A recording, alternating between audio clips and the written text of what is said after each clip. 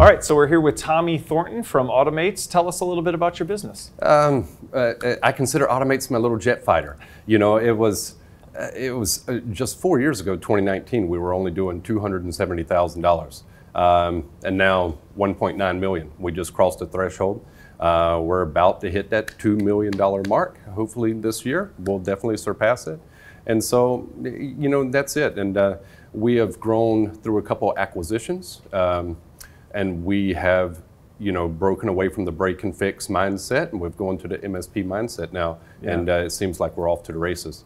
Uh, we're establishing a good team still building on our leadership team but uh, we have a really good team that sees the vision right now. Yeah.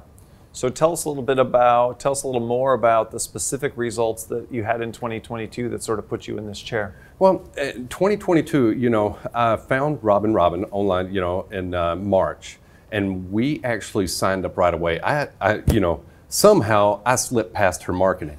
I didn't, uh, I never heard of her before until in March. And conveniently, just I, I guess out of fate, uh, my office manager was watching a video on YouTube. I turn around on my screen, I'm watching the same redhead, and then all of a sudden, we start collaborating. Within, I think, two hours, I had a contract in hand. The very next morning, I had it signed. And so um, I attended Rapid 55, completely, utterly clueless, um, you know, what I was jumping into. Um, I didn't contact or sign up with TMT for the marketing aspect of it into sales. I signed up for the access. You know, mm. the coaching is what sold me. I, yeah. You know, I, I spent a lot of time letting my own personal pride and ego get in the way for seeking help from other CEOs or yeah. like-minded CEOs. And this yeah. was the perfect um, resource for me to have that communication between and ask questions. Yeah. And so Rapid 55 was information through a fire hose. Um, it was a lot. It was I, I was timid going in, um, but the team is quick to put you at ease. Yeah. And then you learn so much so quickly, and it's so relatable to your business. You know, I, I just love how it's broken down. Yeah. Yeah. So, from an implementation standpoint, rapid implementation workshop, mm-hmm. right? A lot of people say, oh, it is, it is so much, it's too much, it's drinking from the fire hose. Now I'm back, I just don't have the time, I, I can't really implement. What were some of the ways you overcame those common challenges that people are facing that, that keep them from, yeah. you know, making some of this stuff happen? I would just say it was, uh, for me, it was knowing that what I was currently doing wasn't working. Mm. You know, we went through the acquisitions, we we went through the growth that we were going to see from the acquisitions, and it was a matter of now I needed to organically grow the company through sales and marketing. I knew that was our next step. And so for me, it was just taking that leap of faith. What we were doing internally up to that point was not working. And so we had to do something. Um, and it was, it was, it's the small things we didn't take big steps. We crawled. Mm. Uh, you know, I was like a baby, if you will. I had to learn how to crawl, and then I took timid little steps. And, you know, little by little, I just soaked in, you know, the dashboard is massive, right? I soaked in as much as I could. Uh, and you know consistently watching the sessions doing the homework that you know that i was told to do um, and then you pick up little things you're not going to walk away from rapid retaining 90%. Mm. But if you can get 30% or 40%, in some cases probably even less than that, then you can build on that foundation that they provide there.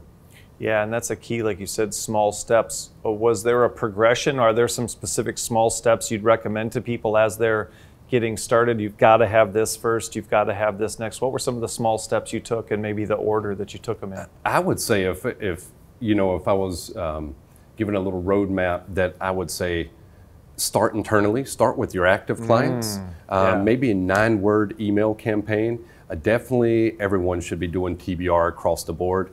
And that was something we were timid to do. It was almost like we didn't want to face our clients. We didn't want to hear any criticism or any negativity. And the TBR forced our hands. It forced that. And, you know, I would say do your TBR, do your nine word uh, email campaigns really maintain that constant contact with your clients and selling just becomes second nature if you will even yeah. if you go into a tbr without sales in mind it just it just happens it yeah. just it just happens Yeah, so you weren't doing technology business reviews; you were doing timid business reviews. Yeah, timid business reviews. uh, You're the wrong kind Yeah, of TBRs. Yeah, yeah. Yeah. So um, when you think about, you know, you already, I think, gave some kind of guidance to folks. But if you think about somebody who's just getting started, or somebody who's been doing this for years but they're not getting the results that they want, what's some advice you'd give them about how to how to make this stuff happen and how to how to see some breakthrough results? You know, I questioned that myself, and um, for me, I wanted proof of concept with the T, uh, TMT marketing, and so, and that's what I told, you know, my coaches. All I needed was proof of concept, and that came so quickly. I mean, absolutely so quickly. Uh, within two weeks, I had added uh, seventy-seven thousand dollars to our to our top line revenue. Uh, within six months, you know, that went up to over four hundred thousand dollars to our top line. Um, just absolutely, you know, incredible output there or ROI.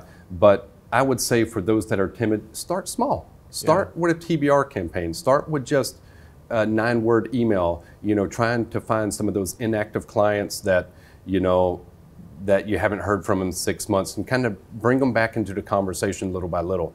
If if I would assume that most new partners of TMT is going to have a lot of inactive clients too. Um, and so that's where we looked at. We had 100 and, over 170 inactive clients that we haven't heard from from the acquisitions, and we started there. We started just the little emails here and there, and then we had that proof of concept. Once we got proof of concept, it was off to the races. It was MSP Success Magazine, uh, physical shock and awe boxes, um, getting an FMM and a Sherpa, and it just made sense. And you know, I pound the table enough. I can't pound the table enough about having a, a you know, uh, FMM. That's Yeah. incredible. That's fractional marketing Yeah, manager. fractional for those. marketing manager, yeah. Yeah. So that was one of the questions I was going to ask, but I want to follow up. You said, did you did I hear you right that you started with TMT March of 2022? Uh, I signed up and I had a couple months before Rapid. I had a couple of months that uh, you know I was just anxious, anxious to get to Franklin, Sure. Uh, and that's yeah, that's how it started. So it's me. only January of 2023 right now. So you're talking about getting this kind of results in a, nine, a six to nine month time frame. yes. Wow, that's Absolutely. wild. So, any specific things you did you already have all the people in place? Obviously, you said you added the fractional marketing manager. Did you have all the people and the roles in place, or were there other substantive changes you had to make inside the business to get the results that quickly? Do you have to add people on or change people's roles? You know, uh, it was uh, my own limitation, my own limiting beliefs saying, I don't have the time, I don't have the time, I don't have the time. And then, you know, once I bought into the product and I seen proof of concept, I made time. And then I could delegate my do not list, do not do list uh, to my personnel was already there. Have we added staff? Yes, we had to add technicians because of the more work. Sure. But in the back office, we're still building SDRs. We're still building our back office, uh, you know, so we can put our foot firmly on the gas pedal and keep it there. And so that's our only limitations now is we're starting to get to the point where we're going to need some back office people. We're going to need some sales. Yeah. Uh, we're we're trying to get out of the mindset of being an IT company trying to do sales to becoming a sales company that does IT. We're trying to flip Mm. the script. And so that's where we see the model. I love it. Anything else you want to tell the people before we wrap it, wrap it up? I would just say, you know, if it's possible, use me as proof of concept. Um, I'm just a Southern boy. I happened on uh, TMT. If it, if it works for me, it can work for you too. Um, and then, and if anyone ever has questions, feel free hit me up in person. All right. Thanks a lot, Tommy. Thank you, Dave. Yep. I appreciate it.